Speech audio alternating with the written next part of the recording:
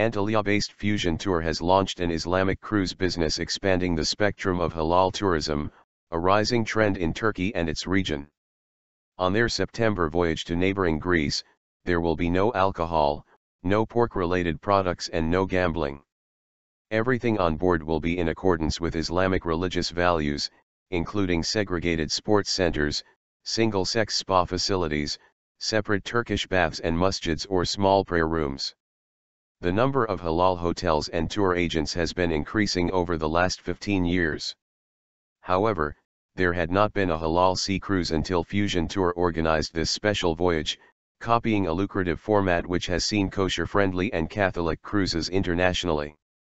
Turkey's first Muslim-friendly cruise, themed on the track of the Ottomans, will leave a port in Turkey's Aegean province of Izmir on September 27 and take its passengers to the Greek islands of Rhodes and Crete as well as the port city of Piraeus by October 2. It will not be just a cruise which does not have alcohol or pork-related products. It will be a cultural and historical tour which promises an atmosphere of social networking, said Fusion Tour General Manager Kemal Günay. Tour project manager Gökmen Aydınalp claimed organizers have thought of everything. We don't even have a painting on a wall of the ship which is against Islamic values, he said.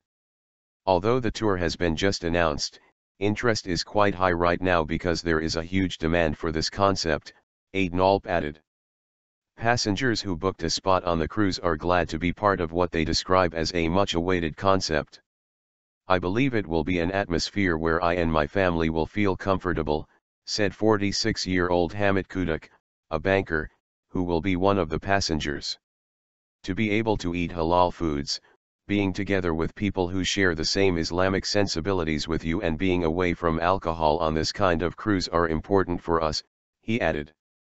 Under the guidance of two Turkish historians, Talha Yurluer and Fethullah Ottoman heritage in the region will be explored. The cruise will feature Sufi whirling dervishes, photo exhibitions, and classical Turkish music, while a prayer bead artist will have a workshop on board.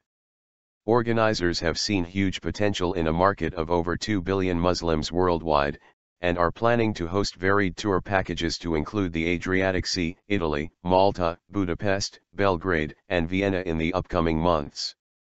Their target will not only be Turks but also Muslims globally.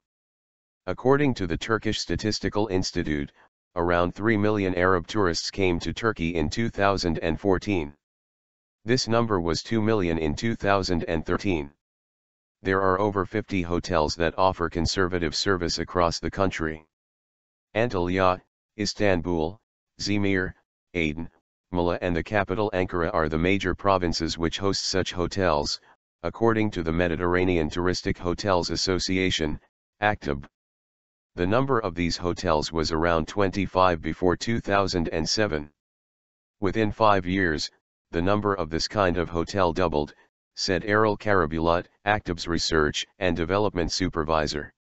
We expect this interest will continue, he added.